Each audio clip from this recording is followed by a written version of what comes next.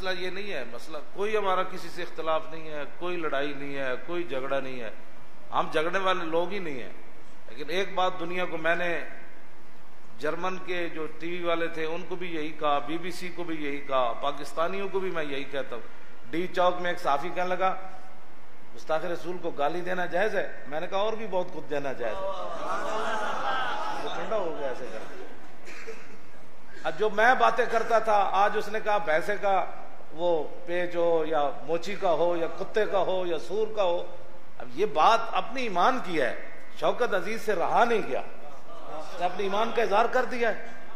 اب وہ جسٹس کی کرسی پر بیٹھ کر خنزیر اور کتے کا نام لے رہا ہے۔ گال وچ ہو کیا ہوگا میں اس ماں کو بھی سلام کرتا ہوں کہ جس نے شوکت عزیز کو جنم دیا۔ اصل بات تو ماؤں کی ہوتی ہے۔ ماں کو بھی سلام۔ ہے اور اس نے کہا کہ میری عزت بھی، میری آبرو بھی، میرا عہدہ بھی، میری نوکری بھی۔ بس یہی ہمارا پیغام تھا جو وہاں تک جا پہنچا۔ اور انشاءاللہ اب ہر سرکاری ملازم یہی کہے گا۔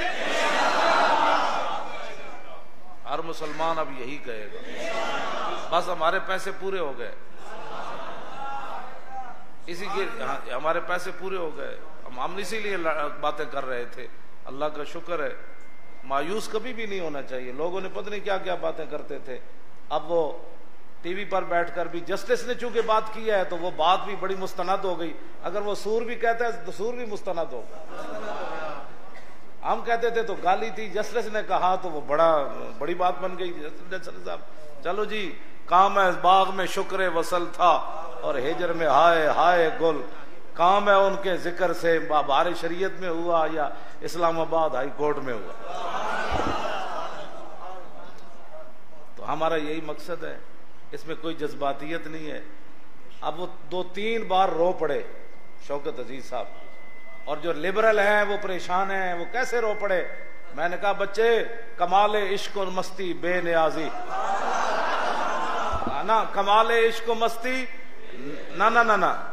نہ نہ جمال عشق و مستی، نیا نوازی، اور جلال عشق و مستی بے نیازی، اور کمال عشق و مستی ظرف حیدر۔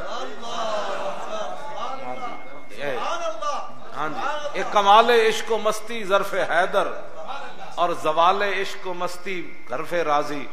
چونکہ ایسے تھا تو چونکہ ایسے تھا تو چونکہ جسٹس تھا تو چونکہ اس کو ایسے نہیں ہونا چاہیے تھا۔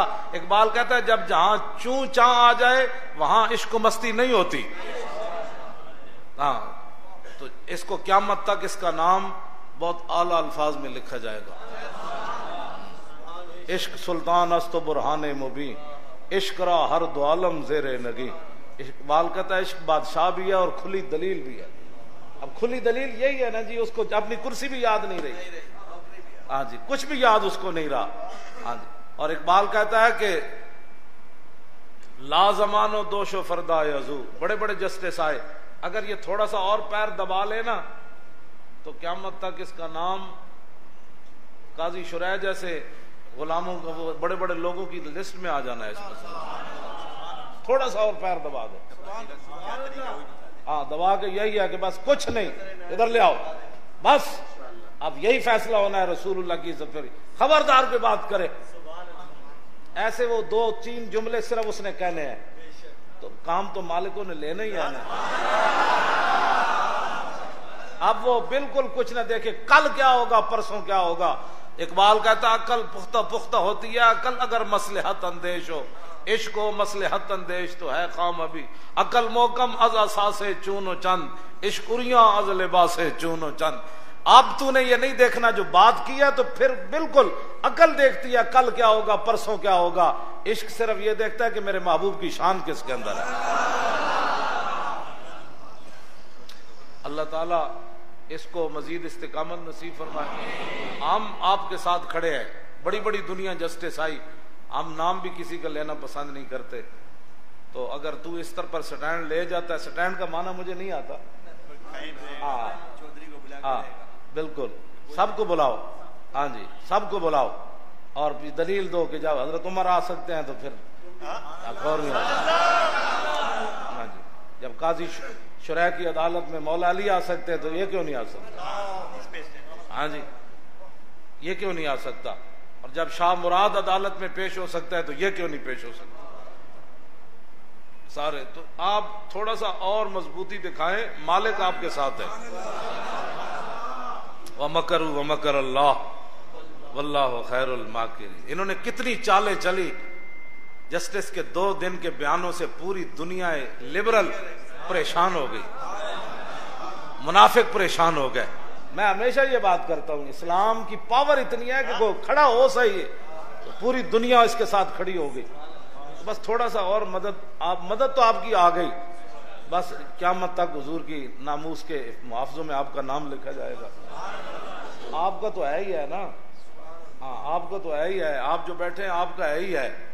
میں اس کی بات کر رہا ہوں، اس بندے کی جو اسلام آباد میں ہے۔ آپ اگر آپ نے بات کی ہے تو اس بات کو پایا تکمیل تک پہنچائیں۔ ہماری ضرورت ہے تو سب سے پہلے مولک خادم کی گردن حاضر ہے۔ ادھر سے کٹوا دیں یا ادھر سے کٹوا دیں۔ لکھوا لیں۔ حضور کے نام پر یہ گردن رکھی ہوئی ہے۔ بس ہمارا کوئی مقصد نہیں ہے، یہ پاکستان ترقی تب کرے گا جب حضور کی عزت پر پیرا ہو۔ امن بھی ہو جائے گا، سکون بھی ہو جائے گا۔ زکات دینے والے ہوں گے، لینے والا کوئی نہیں ہوگا۔ یہ صرف رسول اللہ کے نظام میں ہے کائنات